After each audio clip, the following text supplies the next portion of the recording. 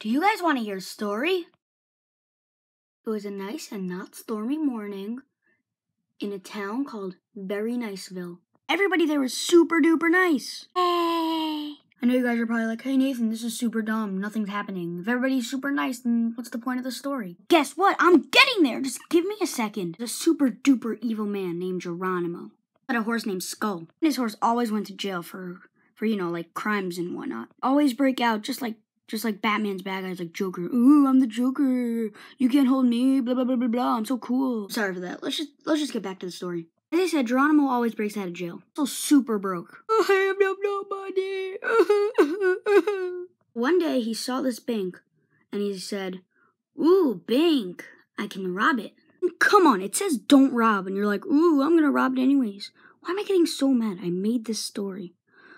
Uh, the only rule follower around here was in jail for so long, he didn't even know there was a new sheriff in town. His name was Wild Willie.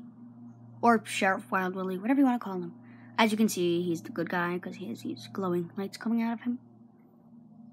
He also had a horse named Sprinkles. Animal went to the bank.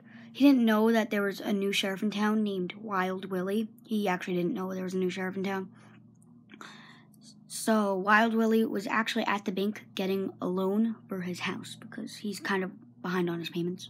Geronimo got all of his dynamite, went to the back of the bank, and blew a hole in the bank vault. Guys, I know there's only a little dynamite there, but I but I promise you there was a lot more. I promise. Geronimo blew up the the back of the bank vault. The alarm started going off. Wee woo, wee woo, wee woo. Geronimo decided to run in the bank vault, get the goods, and go. Geronimo got on his horse and rode.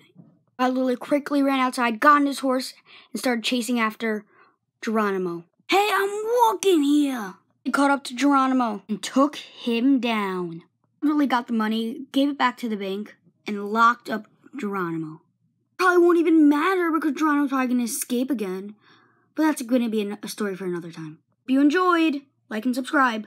Peace.